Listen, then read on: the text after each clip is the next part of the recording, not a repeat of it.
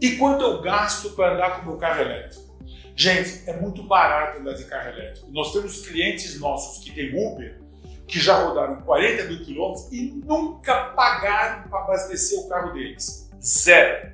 Eles abastecem em supermercado, em Carrefour da Vida, um pão de açúcar, eles abastecem em parques públicos, eles abastecem numa concessionária que vende carro elétrico. Nas concessionárias Jaque, por exemplo, você coloca seu carro para carregar, mesmo se não for um Jaque, e você não paga nada.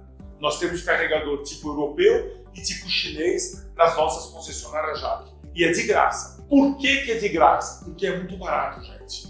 Quando você, ah, para você andar com um EJS4, é o seguinte: você faz 400 quilômetros com um tanque, uma bateria cheia de combustível. E a bateria cheia de energia, ela custa mais ou menos 25 reais. No caso do EJS4, se ele está completamente descarregado, você vai gastar 40 reais para colocar 400 quilômetros de autonomia.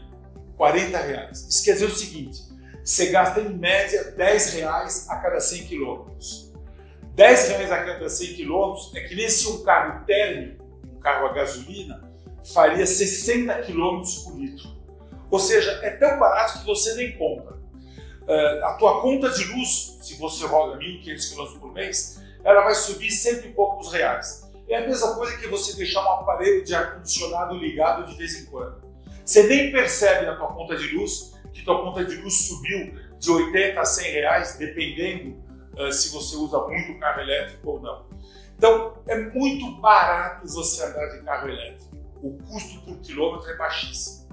E as revisões, gente, é basicamente, no caso da Jaque, é 10 vezes mais barato do que o carro térmico, 10 vezes a menos. Ou seja, a manutenção do carro elétrico é muito mais barata. Por quê? Porque o carro elétrico ele não tem radiador, então não pifa. Ele não tem corrente, não precisa trocar. Ele não tem filtro, não tem filtro de gasolina, não tem filtro de ar, não tem filtro de óleo, não tem filtro.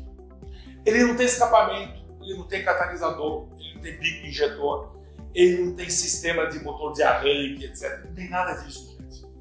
O, o motor térmico, dá uma olhada, eu estou mostrando aí para vocês um motor Mercedes de 250 cavalos. Olha o que é um motor Mercedes 2.0 turbo de 250 cavalos. E agora compare com o que é um motor elétrico da Jaque de 300 cavalos. Olha o tamanho do motor elétrico. É super simples. Ele gira, é um campo magnético e acabou. Você tem um rotor, um extrator, um campo magnético e faz girar o motor.